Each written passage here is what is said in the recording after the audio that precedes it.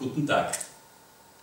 Herzlich willkommen zu einem Teil meiner Sales- und Vertriebsmanagement Vorlesung im Rahmen der Fernlehre und heute geht es um das Thema Vertriebsauf, äh, Vertriebssteuerung.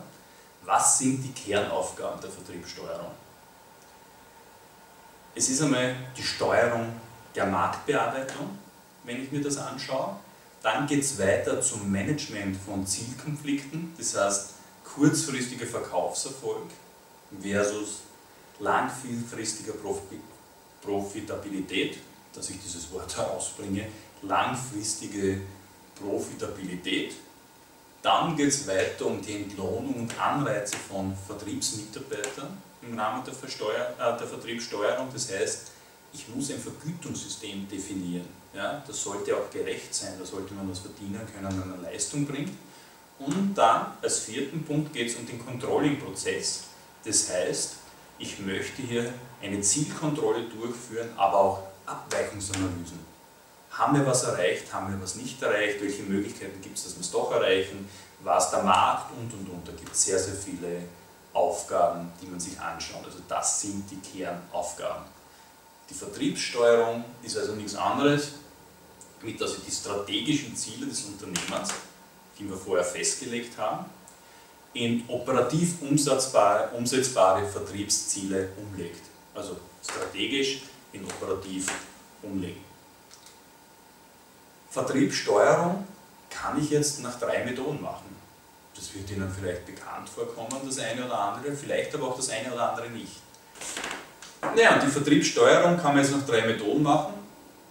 Eben absatzzahlenorientiert, nach Funktionen und Aufgaben oder auch nach dem sogenannten Verkaufstrichter, vielleicht auch bekannt als Sales Funnel. Absatzzahlenorientiert. Was kann das heißen? Das heißt, ich gehe hier sehr stark über Absatzzahlen. Ich habe mathematische Methoden, wo ich berechne und Jahresprognosen anstelle. Das heißt, ich mache einen Vergleich mit Ist-Zahlen. Soll-Ist-Vergleiche werden Sie in Ihrem Unternehmen wahrscheinlich schon gehört haben. Und ich mache eine Umlage der Zielvorgaben vom Unternehmensziel auf die Abteilung und dann auf den Mitarbeiter. Das ist die einfachste Methode. Großer Nachteil ist der, stellen Sie sich vor, Sie sind ein Verkäufer und es gibt unterschiedliche Qualitäten bei den Kunden, Kundengrößen. Der eine tut sich viel leichter, weil er einen großen Kunden hat und Sie müssen 15 kleine machen. Da gibt es sehr oft äh, eben diese individuellen Gegebenheiten, die sollte man sich überlegen, die sollte man sich anschauen und dann entsprechend für die Vertriebsmitarbeiter anpassen. Ja? Da können Sie sehr viel Ärger vermeiden. Die Gegenargumente sind dann natürlich immer, ich kann nicht für jeden Einzelnen alles verändern, ist vollkommen klar, aber die Qualität der Kunden würde ich hier als Empfehlung schon berücksichtigen. Da kann ich das auch nach Funktionen und Aufgaben machen. Das heißt, hier gibt man die Tätigkeit der Mitarbeiter vor. Das heißt, du machst x Kundenbesuche pro Woche, pro Monat, pro Quartal. Du musst x Neukundentelefonate pro Tag bringen. Ich erwarte mir so und so viele Bestandskunden, die du pro Woche besuchst oder auch nachtelefonierst. Und wie messe ich das Ganze über Besuchsberichte oder versendete Angebote? Und das ist das sogenannte Mikromanagement, das kann im Telefonvertrieb sinnvoll sein.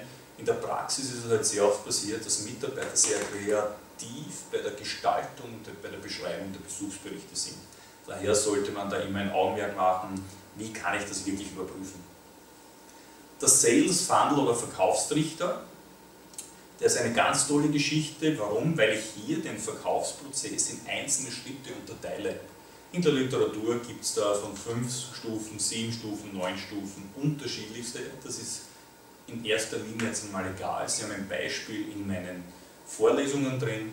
Äh, Sie müssen sich das als Trichter vorstellen. Trichterförmig verringert sich die Zahl der potenziellen Kunden nach Interesse am Produkt, die im Verkaufsgespräch sind ein Angebot erhalten und unterschreiben. Jeder Kunde wird als Vertriebsprojekt gesehen und müssen ausreichend Kunden in der jeweiligen Phase da sein. Das ist eine sehr aufwendige Methode. Sie haben jetzt diese drei Methoden kennengelernt und Sie müssen individuell für sich, für Unternehmen entscheiden, was der beste Ansatz ist. Danke für Ihre Aufmerksamkeit. Es hat mich wieder sehr gefreut, dass Sie mir zugehört haben und wiederum auf but